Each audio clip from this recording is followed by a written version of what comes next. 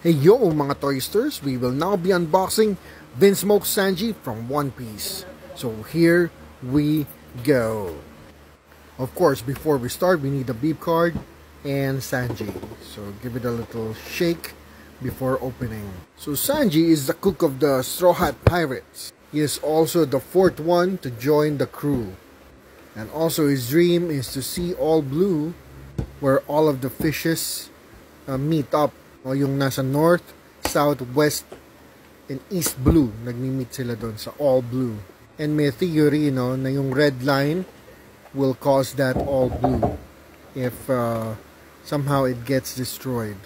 So here he is, Vince Sanji. Actually, yung last name niya na-introduce lang, no, during the post-time skip and uh, on the Cake Island arc. So open na natin. As you can see, may curly eyebrow siya, no? Which originally Oda meant to name him Naruto because of the curly eyebrows. But because Kishimoto already created Naruto, so for, na for si Oda, he changed his name to Sanji. And isipin na lang natin, no, uh, may brother siya, di ba? Kung hindi ako nagkakamali, San translate to no number 3. Ang mapapansin mo yung mga kapatid niya, numbers din ang pangalan. At ito ang itsura niya, no? Nasa left eye ang open. Pre-time skip nasa right eye ang open. Ito yung sigarilyo niya and his soul patch. And yung get-up niya is more like a, a nod to the French cuisine, no? Kasi nga cook siya. Ito yung apoy coming from his black leg. Kaya ang nickname niya nga is Black Leg Sanji. And may little ahoge din sa buhok niya. So I love this. Very simple, very powerful pose, no?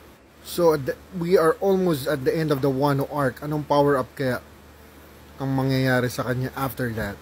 Ayan, hulog-hulog pa siya. Tayo ka dyan, bro. And let's put him in our magical 360 rotating mirror.